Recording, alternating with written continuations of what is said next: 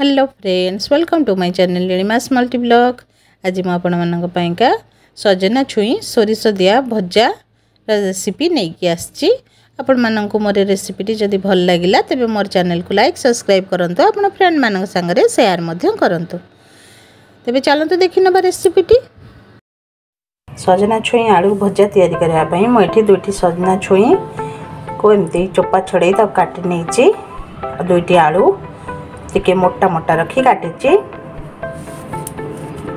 भलक धोई सफा कर सोरस मसलार या सोरस मसला तायरी मुझे गोटे रसुण को छड़े नहीं फाड़े पिज और दुई चमच सोरस और जीरार बटा को नहीं आगर ग्राइंडिंग करद्वारा ये प्लेन हो କଷା ମସଲାରେ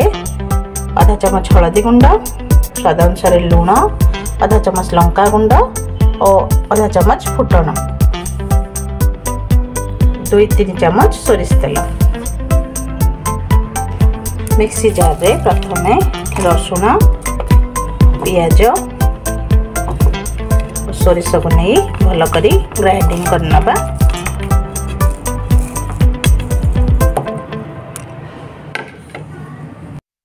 देखु अल्प पा देखिए चिकन कर पेस्ट कर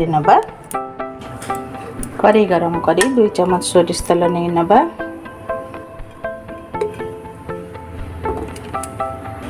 तेल गरम हो गले फुटण को आड कर नबा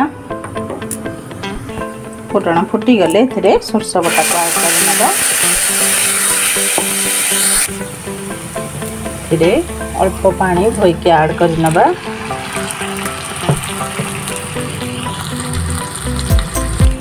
ଏବେ ଏଥିରେ ହଳଦୀ ଗୁଣ୍ଡ ଲଙ୍କା ଗୁଣ୍ଡ ଆପଣ ଚାହିଁଲେ ଲଙ୍କା ବାଟି ବି ପାରିବେ ମସଲାରେ ଆଡ଼୍ କରି ଅଧା ଗ୍ଲାସ୍ ପାଣି ଦେଇ ଫୁଟିବା ପାଇଁ ଛାଡ଼ିଦେବା ଏଥିରେ ସ୍ୱାଦ ଅନୁସାରେ ଲୁଣ ଆଡ଼୍ କରି ନେବା ଏବେ ଏହା ଫୁଟିବାକୁ ଲାଗିଲାଣି ଏବେ ଏଥିରେ ଛୁଇଁ ଆଳୁକୁ ଆଡ଼୍ କରି ନେବା ଢାଙ୍କି କରି ସିଝିବା ପାଇଁ ଛାଡ଼ିଦେବା ଏବେ ଦେଖନ୍ତୁ ପାଣି ଶୁଖି ଆସିଲାଣି ଆମ ଆଳୁ ଚିକେନ୍ ସିଝି ଆସିଲାଣି ଏବେ ଆମର ସଜନା ଛୁଇଁ ଭଜା ରେଡ଼ି ଅଛି ଏବେ ଆକୁ ସର୍ଭ କରିନେବା ଏବେ ଦେଖନ୍ତୁ ମୁଁ ଆକୁ ସର୍ଭ କରି ନେଇଛି